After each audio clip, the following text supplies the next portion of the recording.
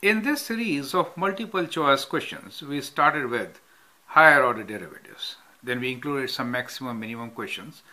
And uh, we are actually incorporating more questions relating to applications of derivatives.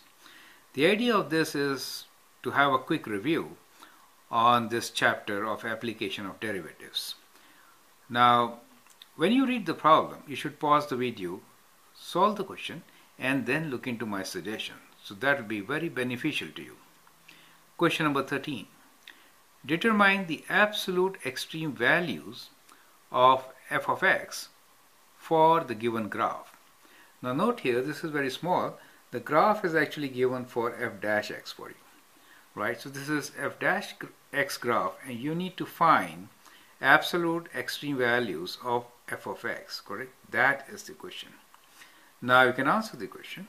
Now what we are looking for is, this is the derivative of the function f of x.